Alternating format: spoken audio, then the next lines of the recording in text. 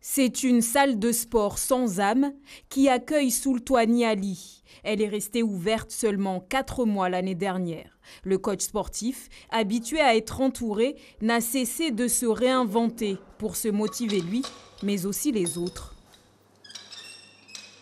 J'ai une palette, enfin, une multitude d'exercices que je peux faire pour moi-même.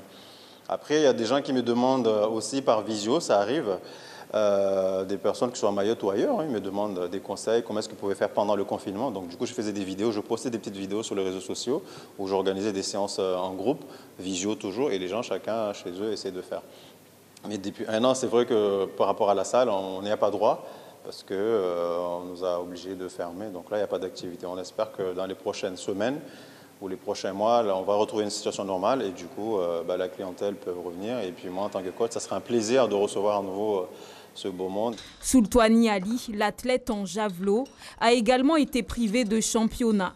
S'il tient aujourd'hui, c'est grâce à son activité à la direction de la jeunesse et des sports. Pour tenir et conserver l'emploi de ses quatre salariés, Najla a elle aussi dû batailler ces derniers mois.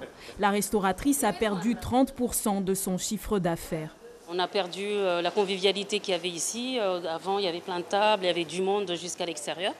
Aujourd'hui, bah, plus personne. C'est la vente sur place, euh, emportée et les livraisons.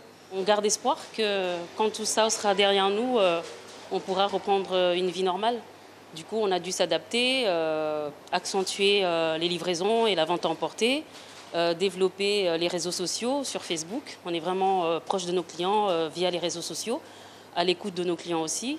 Donc, on a vraiment dû s'adapter pour ne pas sombrer et perdre notre activité. Malgré les obstacles, les pertes, Soultouani comme Najla n'ont pas le temps de s'apitoyer sur leur sort. Ils doivent résister en espérant des jours meilleurs.